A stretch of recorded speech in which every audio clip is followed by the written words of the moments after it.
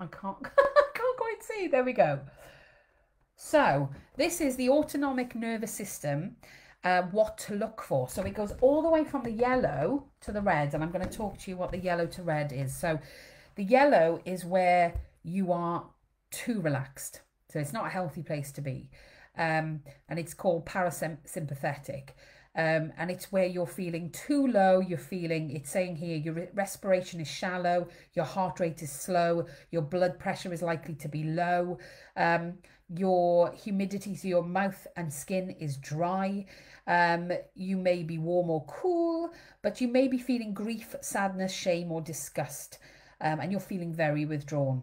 How many of us have children who present like that? Um, they appear to be demand avoidant, won't come out of their room, won't engage in life.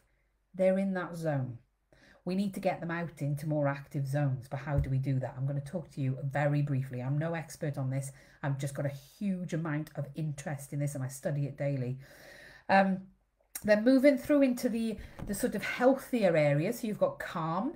Um, so that's the ventral vagus, uh, uh, the parasympathetic number two um, in the ventral vagus. And this is normal life. This is where you are safe, you think safely, you're clear thinking, your social engagement is healthy, you're alert and ready to act. So these are really good areas to be in. This is where, because we don't need to be too relaxed. Um, and then, of course, we've probably all heard of flight or fight. Um, so you go through these stages into flight or fight, which is where you react to danger. Um, you can have fast uh, breathing. You um, have elevated blood pressure um, you're feeling cool and cold, and you've got, you may have cold sweats. Um, you have rage and fear. How many of our children enter these stages quite often during the day and get punished for it?